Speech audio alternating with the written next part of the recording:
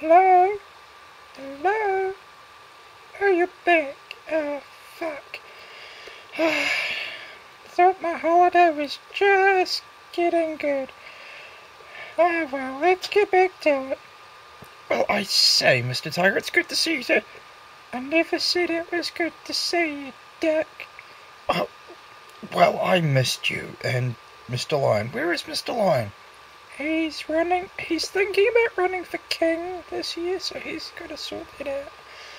Yep, and I'm just, uh, yeah, yeah, mm-hmm. There's a cliff here. Do you want to go take a look? I'll, um, I promise I'll push you hard so you, you know. Ah! Please, I want rid of you bad. Well, I came back and you're like this. Of course. get get out of the way. You, you're blocking the sun. I I thought you wouldn't notice my weight gain. It's hard not to. Do you want me to help you lose some weight? You you you do that? Yep.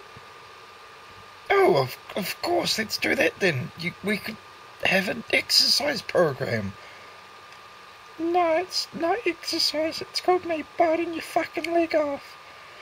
It's the only way you're gonna lose weight. Well, I ate a bit much over Christmas and New Year. What do you expect to happen?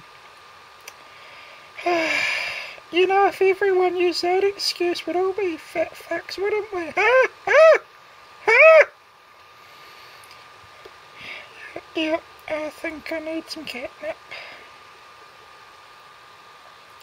Anyway, um, can I get back to enjoying the sun and the bush and the trees?